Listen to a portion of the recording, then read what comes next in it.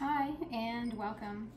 Uh, so we're in the kitchen again and I am going to um, show you how to roast chestnuts. And I have a one pound bag of Italian chestnuts. And typically you will be able to find chestnuts in um, your grocery store, usually in the produce department. Sometimes you can find them during other times of the year other than just um, around the holidays, meaning Christmas. Um, but sometimes you can find them uh, in other types of uh, markets or marketplaces where they will be in bulk, which is actually the best way to try to find um, chestnuts. And that way, if they're bulk, you can sort through them and try to find the ones that you want to bring home with you. Instead, I, I don't really know exactly what all of these are going to look like when we cut the bag open, but the first thing we want to do is examine them and make sure that they um, look good. There are a few things you'll want to um, look for with chestnuts. And first of all, you want to do a little bit of a, a press test. And if you hear a clicking sound, that one you'll want to uh, discard. If you find any that have a hole in them um, or they've already been cracked across the top, um, you don't want those. Now this one, this one is soft, oh, and it just, it just cracked open. So we're not going to use that one. Uh, if they have any mold on them, you won't want to use those either. So I've got a couple that that are a little bit on the soft side. Now there was only one package left um, the day that I bought these. So I've also had them sitting for several days. So um, we'll see, we'll see what we end up with. All right, now here's an example of a little bit of a clicking noise.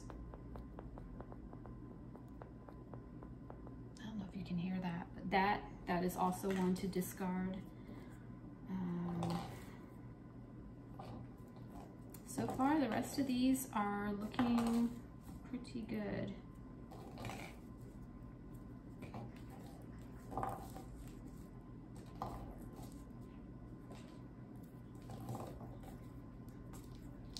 Oh, that one's, yeah, this one's got a bit of a crack in it and it's making some noise. So we are going to just use these that's got a crack. So I've got um, six that are not going to work out for us today. And that's okay. Um, this is just a demonstration. Um, I love chestnuts. And historically, uh, chestnuts uh, typically represent um, abundance, uh, fertility, uh, prosperity, um, the life and death cycle. Um, there's a lot of history surrounding them um, with mythology and folklore. Uh, so it might be something interesting that you might want to uh, look up someday. But uh, here we are. I've got these and what I need to do is rinse them off, just give them a good rinse off and then I'll be right back. All right, we are back and what we want to do is score the top of the chestnut. Now I see um, many people just do one score with a knife just lengthwise, um, just from like left to right. And that's fine. Um, I grew up with my mother scoring it um, basically with a cross on the top. So she would score it this way as well as this way. Um, either way will work.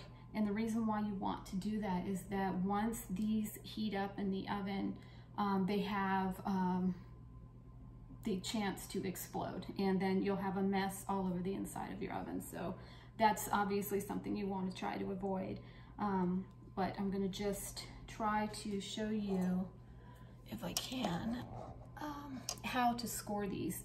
They are not easy to score. Um, so you just, you want to be a little bit mindful of doing this or having children do it. You might not want to have any children do this. Um,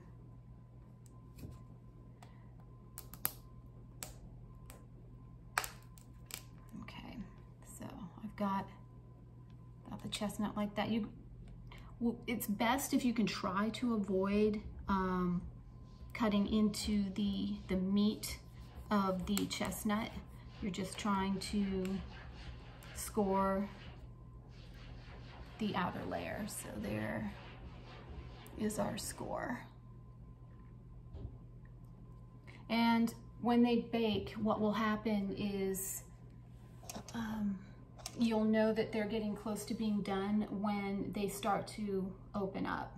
And so these four flaps will start to peel back and um, and that will be helpful when you have have it scored twice um, to eventually you'll you'll want to peel these back once they've had a chance to uh, cool down a little bit. Uh, the one thing about scoring them just once across here is that in the event that it's not easily removable from the shell, um, you only just have those two sides to work with.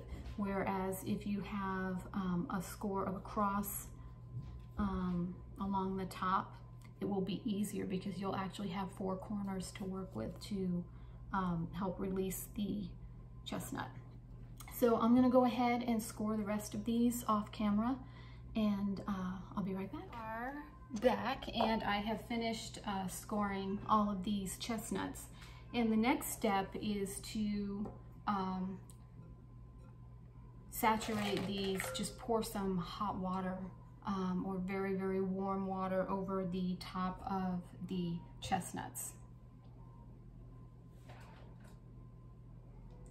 And the reason why uh, we're doing this is because it will help keep the chestnuts moist during the baking process because if we didn't do this, if we don't add any moisture at all, they will be incredibly dry and um, really not very pleasant uh, to eat. So we will add some water. And this is to the point where they are covered completely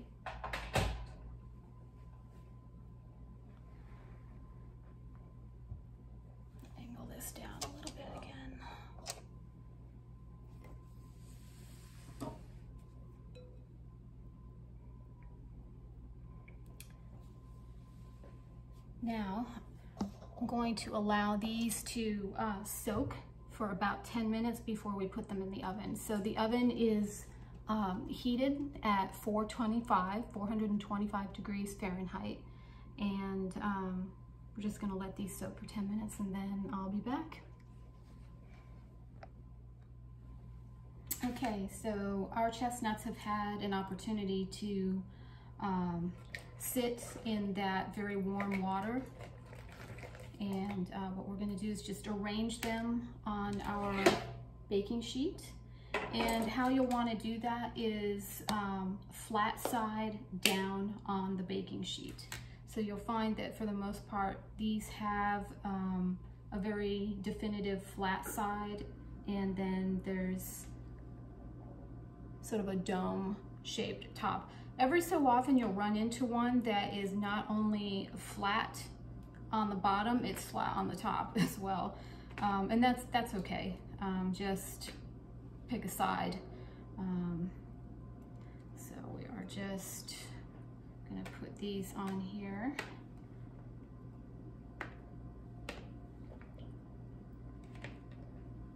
And we wanna put these in the oven. Um, again, I've got it heated to 425 degrees Fahrenheit.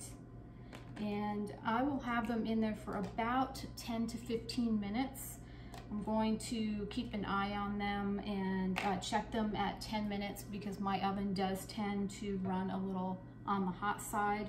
Uh, but this is, this is how I've got them situated on the baking sheet and um, I'll go ahead and put them in and uh, we'll be back in about 10 minutes, maybe 15 at the most.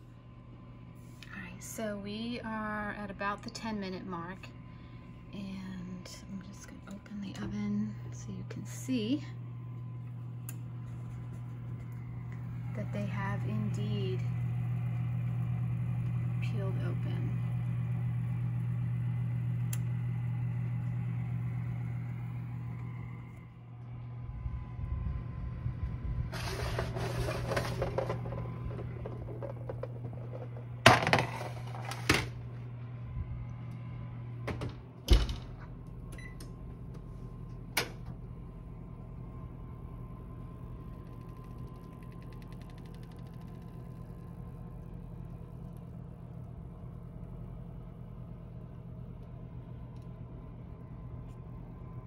So what we'll do is um, I'm going to take these chestnuts off of the baking tray and I'm going to set them back in the glass bowl and I'm going to place a uh, very damp towel over the top of them.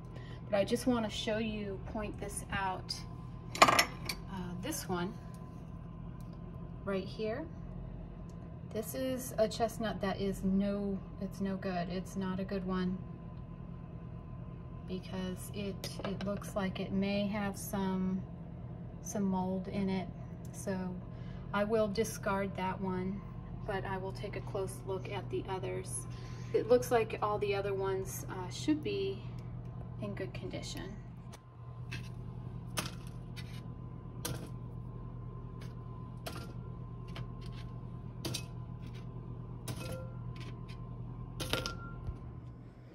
Okay, so the chestnuts are out of the oven and um, I have a towel. You don't need one this large, even uh, a towel the size of a washcloth will do. And I saturated it uh, under the faucet with some warm water, wrang it out, and then what you'll want to do is place this towel over the top of the chestnuts that just came out of the oven. So it's gonna look like this.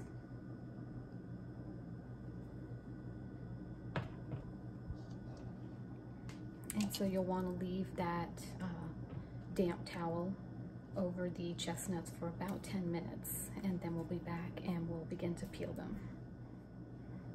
Okay, we are back. It's been 10 minutes and I've just removed the towel from the chestnuts. And so we had one that sort of really opened up. And so we've got a little piece right here. Mmm. Moist. And chestnuts have um, a sweetness to them. They're not sweet like candy, but there's an underlying sweetness to them and very tender and moist. And because we soaked them um, after we scored them and before we put them in the oven, and then this last step, adding the damp towel before peeling them, uh, it really does make a difference. So Here's one. You just want to take a corner and pull it back. And take another corner and pull it back.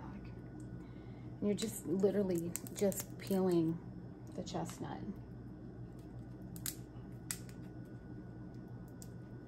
I think I have a helper here.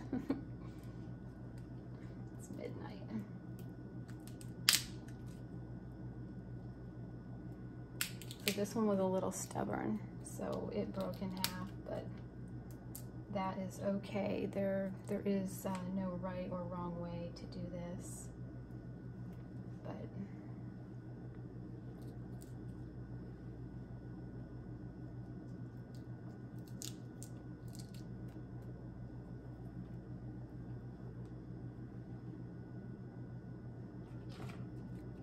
here's another one.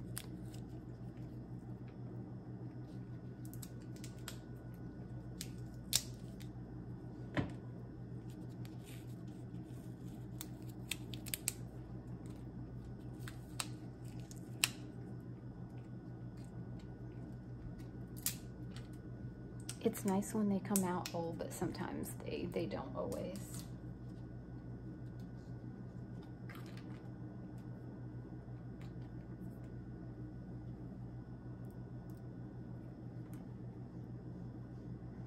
Not bad.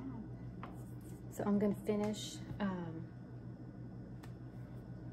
removing the uh, outer shell from these chestnuts and I'll be back and I'll share with you uh, how to store them and uh, approximately how long they'll last. All right, so I did successfully remove um, the shells from my chestnuts and uh, this is what it yielded. It's a small container. I did end up with some whole ones, but not too many. Uh, some of them did break apart, so don't expect all of them to come out in one whole piece. Um, so I didn't end up with as many as I thought because uh, that's mostly due to my uh, not preparing them.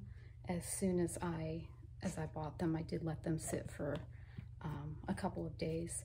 And how you need to store them will be in um, in a container airtight.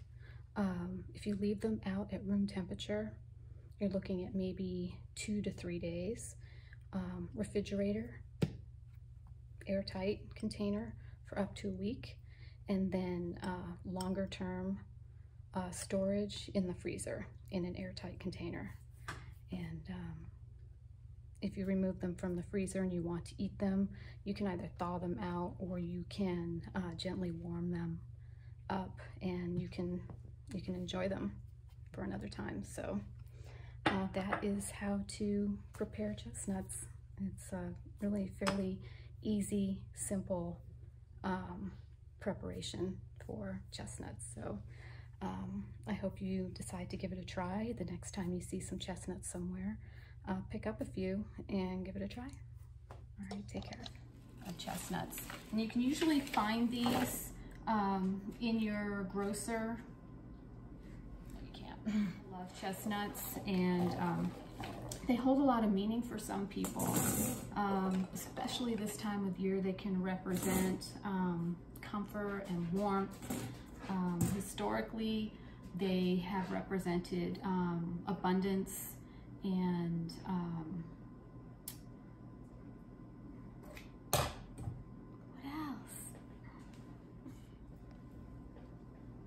Oh, Nina, come on, no. Look like little cat brain. I'm not sure what a cat's brain looks like, but it looks like somebody wants to try some, huh?